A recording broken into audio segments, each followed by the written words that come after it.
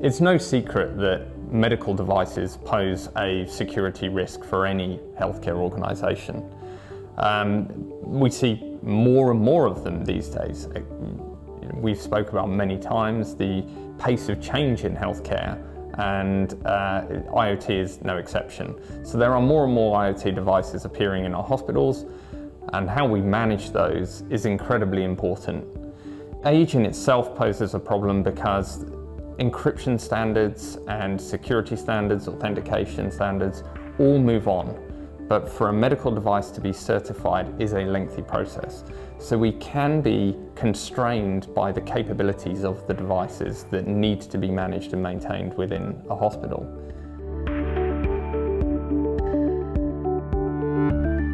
If we look at a couple of examples here, so we have seen in some of our customers uh, IV pumps that are, that are able to be wired, connected to the network and then monitored remotely.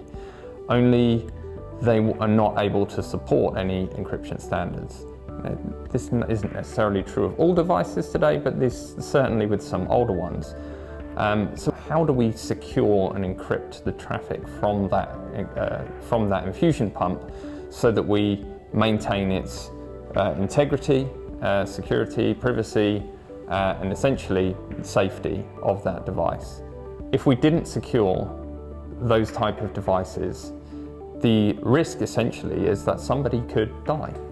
If you manipulated the readings for or the instructions to an IV pump that's currently treating a patient, the potential is loss of human life. They must be protected.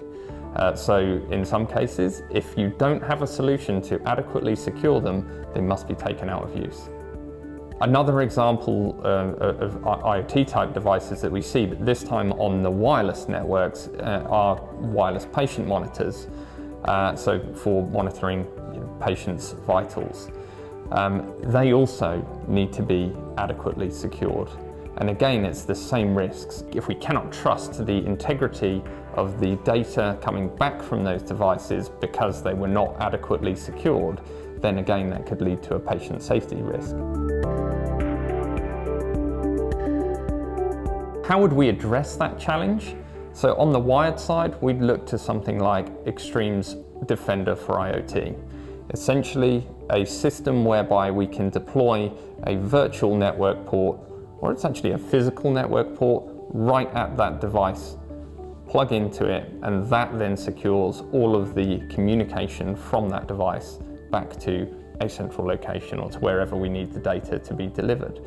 Uh, and that means that we have far greater capabilities in terms of authentication and encryption than the device itself had without affecting the device's uh, certification or compliance. How do we address the same challenge on the wireless networks?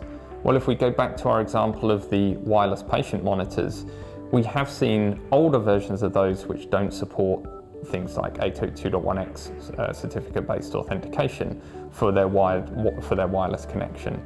Uh, they would only support WPA, installing a passphrase on the device. Well, there's a major problem with that.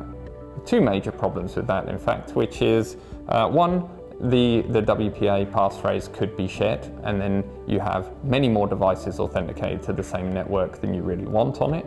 And another one is, if that happens, how do you respond to it? Well, you then need to visit every single one of those devices and, and put in a new WPA passphrase. So with, with Extreme's private pre-shared key, we're able to deploy individual passphrases for individual devices, but manage that simply and centrally. So if any one of those becomes breached, we can very simply uh, revoke that particular passphrase and reissue a new one, only meaning that we need to manage one of the devices, the one that was affected. So the impact uh, to to, uh, to a hospital managing multiple devices that don't support anything but WPA passphrase is, is vastly simplified management and security of those devices. For many customers where they're, where they're faced with these challenges, these type of solutions can prevent a, a, customer having to go back out to the market and procure hundreds more modern devices that, that, that, mitigate that risk. We're able to mitigate the risk for them actually saving a huge amount of money in the long run.